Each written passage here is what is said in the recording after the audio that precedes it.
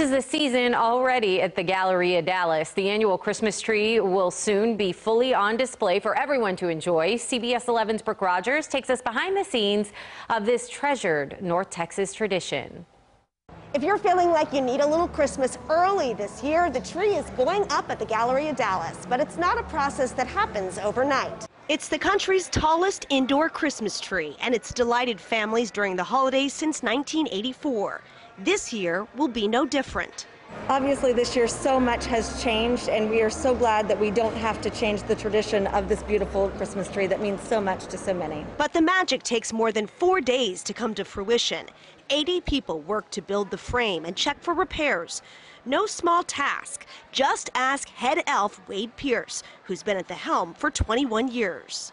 We start a week in advance, start pulling the boxes, pulling the frames, uh, checking our inventory, tools, you know, making a list, checking it twice, that kind of thing. There's a lot to check. 10,000 ornaments and more than half a million twinkling lights, plus branches that have to be individually fluffed.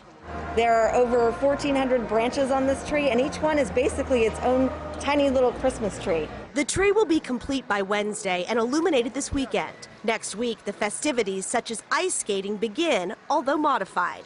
Even with COVID, Santa will also be here this holiday season, but there will be no sitting on his lap. Instead, he'll be in a special sleigh, socially distanced and with plexiglass. Shoppers we spoke to say, especially this year, the holiday cheer can't come soon enough. I'm a huge Christmas person, so as soon as it's November 1st, I go from Halloween to Christmas and just skip Thanksgiving.